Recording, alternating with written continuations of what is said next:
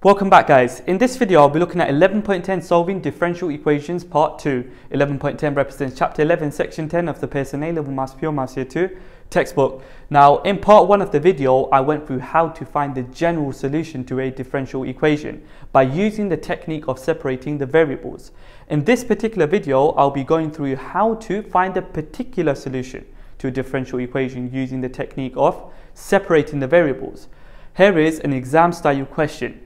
Find the particular solution to the differential equation dy over dx is equal to 3 over y cos squared x with boundary condition y equal 2 at x equal pi over 4. Give your answer in the form y equal f of x. Well, ladies and gents, I'm going to start off by writing the differential equation. I've got dy over dx is equal to 3 over y cos squared x. The first step is to multiply both sides of this differential equation by dx to give me dy is equal to 3 over y cos squared x dx. The next step is to multiply both sides of this equation by y to give me y dy is equal to 3 over cos squared x dx. Now 3 over cos squared x is equivalent to 3 sec squared x. I've got the dx, I've got the y dy. Now I can get rid of the differentials on both sides of this equation by integrating both sides.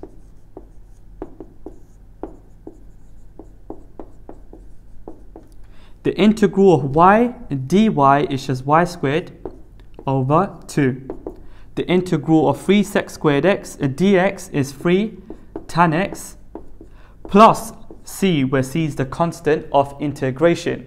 The next step is to work out c by substituting y equal 2 and x equal pi over 4 into this particular equation. So substitute y equal 2, x equal pi over 4. If I do this, I get 2 squared over 2 is equal to 3 tan pi over 4 plus c. Now 2 squared is 4 divided by 2 is 2. 3 multiplied by tan pi over 4 is just 1 plus c. So 2 is equal to 3 plus c. Hence c is equal to 2 take away 3 which is minus 1. Now I can write the whole equation again but with my c value. So I get y squared over 2 is equal to 3 tan x minus 1. I need to write my final answer in the form y equal f of x. So I need to make y the subject. I can multiply both sides of the equation by 2 to give me y squared is equal to 6 tan x minus 2. Therefore, y is equal to plus or minus square root 6 tan x minus 2. So the particular solution to the differential equation dy over dx equal 3 over y cos squared x with boundary condition y equal 2 at x equal pi over 4 in the form y equal f of x is just y equal to plus or minus square root 6 tan x minus 2. Here is another exam style question. Find the particular solution to the differential equation dy over dx is equal to 9x plus 6 in brackets multiplied by y to the power a third all over x with boundary condition y equal 8 at x equal 1.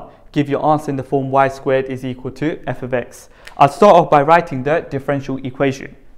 So I have dy over dx is equal to 9x plus 6 in brackets multiplied by y to the power a third all over x. The first step is to multiply both sides of this equation by dx to give me dy is equal to 9x plus 6 in brackets multiplied by y to the power a third all over x dx. The next step is to divide both sides of this equation by y to the power a third. Doing this gives me 1 over y to the power a third dy is equal to 9x plus 6 all over x dx. Now 1 over y to the power a third can be rewritten as a y to the power minus a third dy equal to, this fraction you can split into two parts, 9x over x, which is 9, plus 6 over x dx. Now I can get rid of the differentials on both sides by integrating both sides. So I get the integral of y to the power minus a third dy is equal to the integral of 9 plus 6 over x dx. Now the integral of y to the power minus a third dy is just 3 over 2 y to the power 2 over 3 equal to the integral of 9 dx is 9x plus the integral of 6 over x dx is 6 ln mod x plus c, the constant of integration. The next step is to substitute y equal 8 and x equal 1 into here to work out c. So sub y equal 8, x equal 1 into this particular equation to give me 3 over 2 in bracket 8 to the power 2 over 3 is equal to 9 multiplied by 1 plus 6 ln mod of 1 plus c. Now we know that ln mod of 1 is just 0. So we just simplify both sides and if we simplify we obtain the following result. 6 is equal 9 plus c, therefore c is equal 6 take away 9 which is minus 3. Now I need to put this c back into uh, this equation to give me the following result.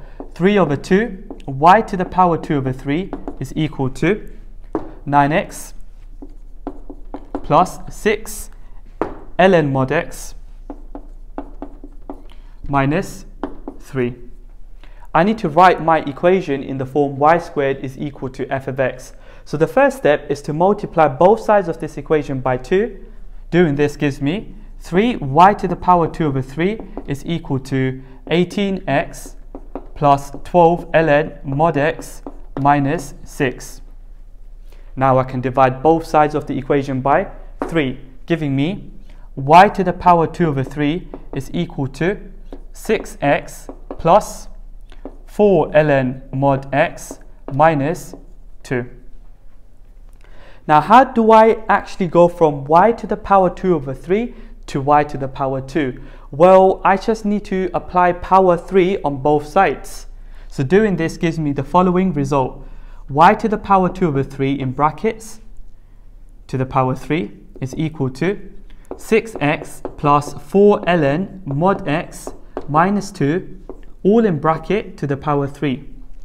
Remember laws of indices, if you have an inside and outside power, you can multiply them. So 2 over 3 times 3 is just 2. So I can write y squared is equal to this particular expression. 6x plus 4 ln mod x minus 2 in bracket to the power 3. Therefore, the particular solution to this differential equation with boundary condition y equal 8 at x equal 1 in the form y squared is equal f of x is just y squared is equal to 6x plus 4 ln mod x minus 2 in brackets to the power 3. If you found this video useful, please don't forget to subscribe.